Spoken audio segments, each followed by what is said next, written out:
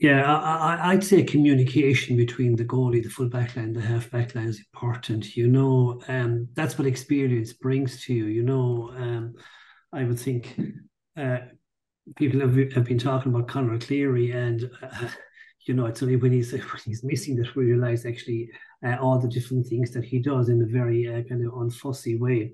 And I suppose one of the things that he possibly he possibly does is he keeps that space in front of him uh, covered all the time, you know, and uh, I suppose that's what he brings to it, you know, and I think um, communication between his goal, the goalie, the full back line, and the half back line. Okay, while we have good players there, the experience that the likes of John Conlon, David McInerney, and Conor Cleary bring to make sure that okay, that 40, 50 yard gap isn't created by teams to actually run at you and bring that threat of goals. I see that would be a that would be kind of a, an issue I'd say that would be addressed as well this week.